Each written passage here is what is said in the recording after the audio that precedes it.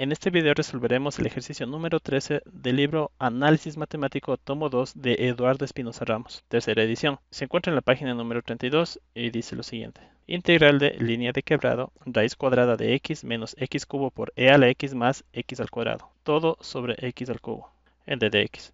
Vamos a resolverlo paso por paso. Entonces, esta es la integral como vemos en pantalla aparentemente no es una integral directa. No tenemos cómo relacionar para que una parte sea derivada de otra, porque hay funciones exponenciales, hay raíces y hay exponentes enteros como x al cuadrado, x al cubo.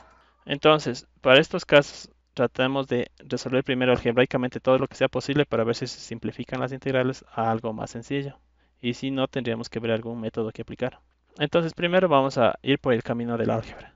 Entonces, vamos a expandir cada uno de los términos del numerador raíz cuadrada de x es lo mismo que decir x a la 1 medio.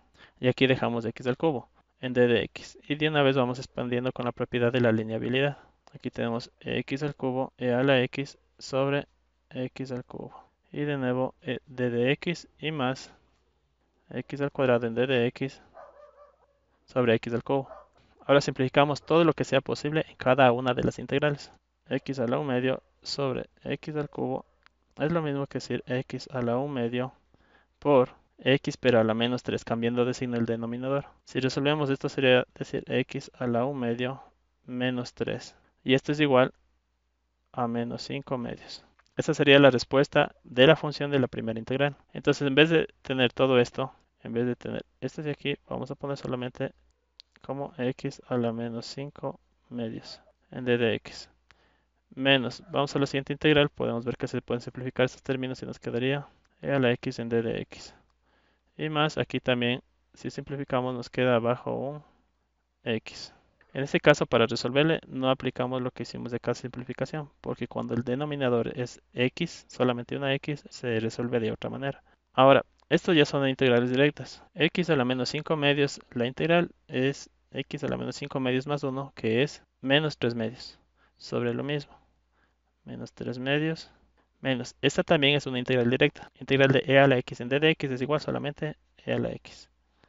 Más, y esta también es una integral directa, logaritmo natural de x y más e. Resolvemos algebraicamente todo lo que sea posible y nos quedará de esta manera. El inverso de menos 3 medios sería menos 2 tercios. Ahora, x a la menos 3 medios podemos dejarle como exponente positivo bajándole como denominador, x a la 3 medios. Y el resto es lo mismo, menos e a la x más, más logaritmo natural de x más e. Ahora, x a la 3 medios podemos dejarle de otra manera. x a la 3 medios es igual a decir x por x a la 1 medio.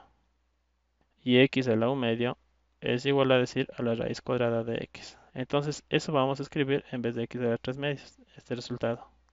Y por tanto nos quedaría de esta manera. Menos 2 tercios, 1, y aquí es x por raíz cuadrada de x menos e a la x y más el logaritmo natural de x más c. Y esa sería la respuesta de este ejercicio.